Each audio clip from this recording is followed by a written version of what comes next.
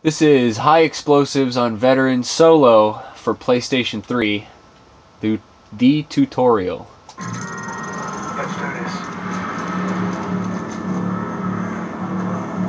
Okay, he's not there, so you want to chase him down. You want to activate the first guy. He's not there. He's right there. Okay, so he saw me. Run, run, run, run! Wow. That guy was mean in business, let me tell you.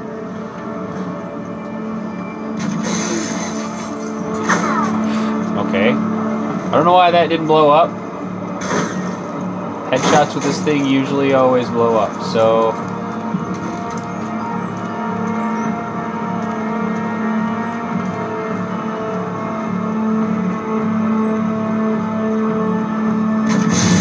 Okay, so you gotta, it has to be a headshot, and it has to explode. This room is gonna be your safest bet, because the Juggernauts, they can't climb over the wall that's behind you, so they, they, they won't do it. You can, so if you ever miss, like I'll, like you'll probably see me do a bunch of times in this tutorial, if you miss your shot, climb out the window and stick your head out and poke through the um, and poke through the alleyway because you'll activate them. Also, now there's two juggernauts. When you get down to eight on the PlayStation, anyways, you get two that come out at a time. So you got to think about that when you pop your head out to jump out after you get this kill or if you get the miss where are you, buddy? I hate the waiting game because as soon as I go to scratch something,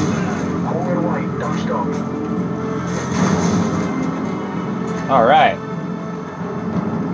So that was the two that come out. Now three are going to come, so it gets a little bit trickier if I don't land these shots.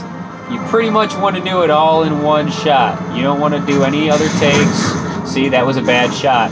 Now I got two more juggernauts coming. See, there's one down there. Wait a second. Stand up, line up the three crosshairs, and wait for that gun. There you go.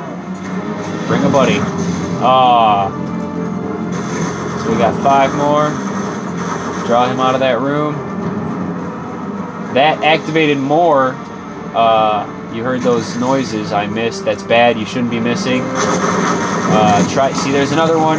Now I got two on me at the same time. This is bit three. Three. I've got three. Count them. Three juggernauts right now.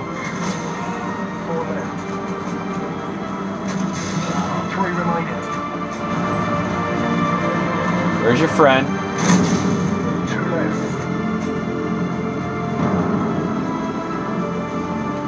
Okay, I think they just got spawned at the same time. Those last two. So let's see where we will see them. Where's your friend? And that's the that's the mission, guys. That's how you do it. 306, not my best time. Uh, make sure you look at those stats. Time three minutes six seconds, almost six and a half seconds. Uh, all 10 kills. Difficulty is veteran.